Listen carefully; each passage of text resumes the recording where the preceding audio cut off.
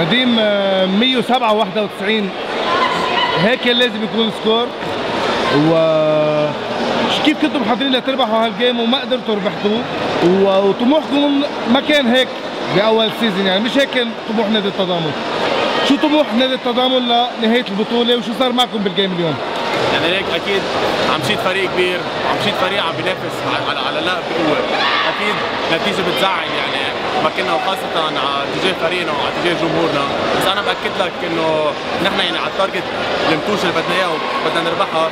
هي هي أكيد على الفرق اللي عم بتنافس على المركز السادس والخامس، يعني أكيد فرصنا إذا بدنا نتأهل على final four عم بتخف، بس أنا مع إذا أول سنة إنه خلصنا البطولة كمركز على السادس خامس بكون إنجاز أول سنة التضامن، وهيدي ال target تبعنا، وأكيد إذا فينا نتحسن إنه ليش لا، بس كهيدا ال game أكيد ماني راضي أول شيء على أداء وأداء الفريق، إن شاء الله يعني مع المنتوج الجاي نتحسن. beaucoup.